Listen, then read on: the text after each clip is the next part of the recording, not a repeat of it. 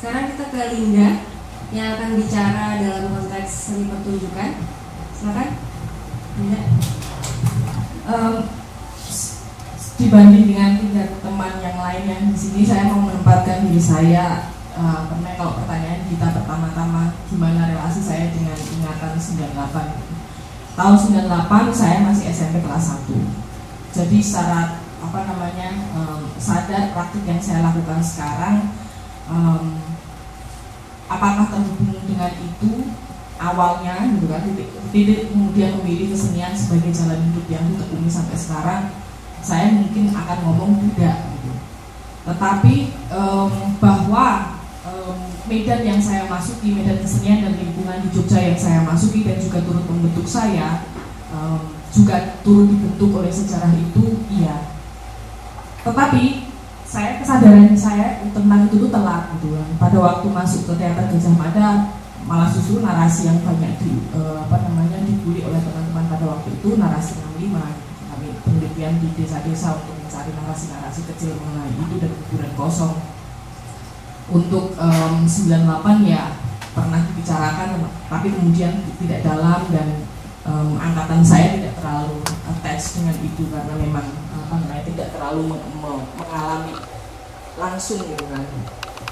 Um, beberapa tahun yang lalu ada project saya tidak tahu projectnya siapa gitu yang menanyai gitu secara apa namanya beruntun gitu lewat um, email pada waktu itu. Apa aku dibantu dong project ini project aku kamu komen dong apa ingatanmu tentang 98 nah di situ saya tergagap-gagap gitu kan. Oh ya 98 natural aja tidak perlu dibuat-buat apa yang aku ingat tentang 98 98 kelas 1 kelas 1 SMP situasinya dalam uh, sisi saya kan uh, generasi yang itu uh, uh, kelas 1 SMP yang paling mencekam sebenarnya adalah ketika eh, pada waktu pelajaran geografi tiba-tiba siswa-siswa yang diidentifikasi sebagai etnis Cina gitu dan atau yang mirip dengan itu diambil oleh guru terus kemudian disuruh masuk ke mobil dan dibawa ke satu tempat tertentu di sekolah lain untuk disembunyikan gitu.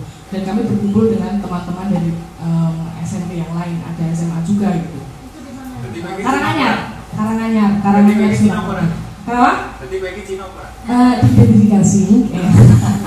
Salah satu yang diangkut mau ngaku ya. Salah satu yang diangkut itu gitu. Dan itu mengerikan padahal hari-hari sebelumnya kami sekolah seperti biasanya meskipun uh, Karanganyar sendiri juga uh, apa namanya rusak, lampu-lampu kota rusak, taman Pancasila tempat kami nongkrong juga rusak, terus banyak apa namanya tulisan-tulisan uh, pribumi pribumi pribumi. Nah setelah itu uh, setelah hari itu yang paling mencekam lagi adalah toko teman saya Samsam itu dibakar jadi ingatannya sebatas itu dan Solo kami dilarang untuk pergi ke Solo orang tua. Karena carut marut dan membahayakan jiwa. Sementara itu gitu. Kemudian dari teater Gajah Mada eh, saya bekerja di lembaga eh, eh, seni pertunjukan Yayasan Bagong Sudiarjo yang pada waktu itu juga sedang membentuk Mbak Jinipan ada di sini kayaknya ya? Tahun 2008 tahun sporadis memang gitu. Kan tahun 2008 dengan eh, pekerjaan-pekerjaan uh, manajerial uh, bergabung juga dengan teater Ganti dan Gardenala nah di teater Gardenala ini naskah yang diajukan Jonet uh, pada waktu itu yang digarap adalah tentang 98 gitu, yang mm, mengundang saya, menantang saya untuk menjadi salah satu aktornya gitu. Ada tiga orang pada waktu itu. Ceritanya tentang mantan-mantan aktivis 98 UGM spesifik kan um, yang kemudian bertemu beberapa tahun kemudian ketika mereka sudah beli kehidupannya masing-masing di dalam satu kamar dan keranjang. Uh, uh, uh, trisam. Judulnya bertiga. Nah dari situ kemudian um, mulai mengulik gitu kan karena uh, Junet juga mendorong kami untuk mencari referensi dan kemudian membicarakannya di dalam proses uh, produksi itu gitu. mulai oh begitu ya oh, lalu hubungannya Cina kenapa dulu aku diamankan? Dan kenapa toko temanku dibakar? Kenapa? Itu terangkai pelan-pelan. Tetapi juga tidak terlalu menjadi intens intensitasku. Itu semacam pengetahuan sejarah. Nggak tahu ya mungkin aku juga nggak terlalu sensitif dengan uh, semacam itu atau masih naik dan entahlah aku tidak terlalu intens uh, di, di urusan itu. Tetapi bahwa uh, 65 um, aku lebih intens ke sana karena ada ada apa namanya latar belakang personal keluargaku yang attach di sana jadi itu mendorongku untuk lebih ke sana daripada 98 kemudian di um, dari teater seni rupa gitu kan terus kemudian um, kembali ke tari um, dan tidak sebagai praktisi penciptanya gitu bukan bukan sebagai koreografer atau um, apa ya penata artis gitu seniman gitu. Tapi saya bekerja di wilayah belakang panggung gitu belakang uh, apa namanya saya tidak mau menyebutnya manajemen karena manajemen menjadi salah satu bagiannya tapi saya tidak tahu uh, terminologinya apa untuk menamai praktik saya. Itu juga uh, praktek saya sangat dekat dengan uh, Bu Neni gitu. Apa ya namanya? Nggak tahu gitu. di Semeti pun juga seperti itu. Di Indonesian Festival meskipun kerangkanya dilibatkan dalam tim kuratorial dan peneliti ternyata juga dealing dengan itu. Nah di sini saya um, malah justru di dalam perjalanan praktik kalau kemudian senior senior-senior yang kehilangan musuh gitu, di sini saya mendapatkan bukan musuh tetapi tantangan atau musuh imajiner saya gitu. Nggak tahu itu juga um, masih saya proses gitu.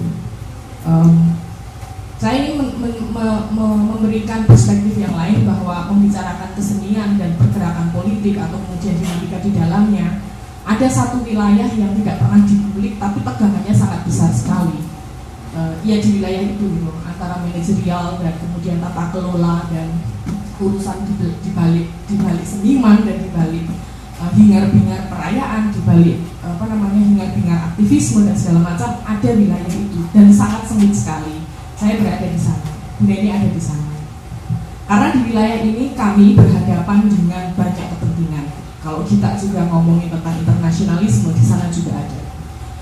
Ini semacam kayak uh, apa namanya satu uh, wilayah kerja yang harus melakukan navigasi di banyak hal gitu dalam sekali waktu. Ya senimannya, ya kemudian publik yang dibayangkan, negosiasi dengan sumber kapital atau kemudian kepentingan uh, uh, institusi atau lembaga atau apa pun itu yang apa namanya terlibat di dalam program yang kita uh, kita rancang bersama itu, itu sangat sengit dan sangat tegang sekali. Dan jujur saya kesepian untuk uh, ngomong ini karena kalau misalkan ngomong kritik seni gitu kan selalu maaf Mas Didit mungkin Mas akan uh, bersepeda gitu. Kamu itu selalu ngomongin seni tapi bukan pada seninya gitu tetapi bahwa wilayah ini juga menyertai proses uh, apa namanya penciptaan uh, narasi dan estetika iya gitu. Tetapi kenapa kemudian ini selalu dibungkam gitu? Seolah-olah kalau dikatakan pengelola seni tata kelola seni manajer seni itu kayak uh, administratif gitu kan. Tetapi sebenarnya tidak sebatas itu saja gitu. Kami juga harus bersih tegang gitu kan menentukan sikap-sikap dan pilihan-pilihan dan pertimbangan-pertimbangan ketika kita bekerja dengan seniman atau lembaga donor. Ini strateginya apa? Itu tegangannya sangat besar sekali. Dan um, itu dua-duanya baik di seni rupa, di uh, teater karena seperti hadir saya juga uh, sedikit terlibat di manajemen, di manajemen uh, tata kelola dan apa namanya bagaimana um, mengkoordinir uh, kolaborasi berbagai macam pihak gitu dan di Indonesia Festival juga begitu um, dan dari tahun 2008 ketika saya memang benar-benar melakukan praktik kerja uh, tata kelola dalam uh, institusi ya, Yayasan Paulus Biarjo dan kemudian di Gandrik, di Cemeti dan kemudian di Indonesia Festival perubahannya itu drastis. Nah, kalau kemudian ngomongin tentang uh, pergeserannya atau kemudian perkembangannya mengarah ke mana itu bisa sangat dibaca dari itu gitu misalnya kenapa Indonesian Jazz Festival selalu uh, um, apa namanya terafiliasi dengan uh, pemerintah Jakarta gitu. Karena uh, suatu uh, satu rezim gubernur itu dijadikan agenda kota gitu. kan itu sebenarnya juga mengubah wilayah praktik seninya gitu kan. Kemudian pilihan karyanya kemudian pilihan senimannya. Eh, bahkan bentuk presentasinya semuanya digerakkan dari itu. Jadi aku ingin kita bersama-sama juga mulai melihat uh, dinamika yang ada di ruang sempit ini gitu karena ini sangat sesak dan penting gitu uh, dan urgent. Kita mau ngapain gitu. karena juga nyambung dengan Wowo yang ngomong uh, aku sangat senang sekali gitu dengan um, apa pergerakan-pergerakan atau kemudian dorongan-dorongan praktik seni alternatif yang di, tidak perlu menunggu institusi, tidak perlu menunggu production house kita lakukan gitu kan konsekuensinya jelek dan bagus itu kemudian di mereka ulang dulu, ditata ulang misalnya macam. Nah di pertunjukan khususnya tari karena uh, saya di sini diminta untuk ngomongin wilayah itu um, dan um, dan praktik saya sebenarnya sangat pendek sekali gitu Tapi saya akan mencoba untuk meraba apa yang saya alami dan saya amati. Gerakannya kalau misalkan di Wowo pengen individu menjadi agensi gitu kan menjadi space gitu. atau kemudian uh, mirip korporasi tetapi kalau di tari itu individu malah justru mengkorporasikan dirinya sangat kentara sekali uh, nggak apa-apa ya juga ini ini ini apa namanya semacam pembacaan aja gitu misalnya kita lihat aja gitu beberapa koreografer atau kemudian eh, kelompok-kelompok uh, yang kemudian ada nama individunya pasti mencantumkan company Antar Dance Company, Ayu Permata Dance Company gitu kan. Itu dulu. Jadi individu pun juga berusaha untuk mencocok-cocokkan dirinya dengan pola uh, uh, apa namanya produksi pola kerja itu gitu.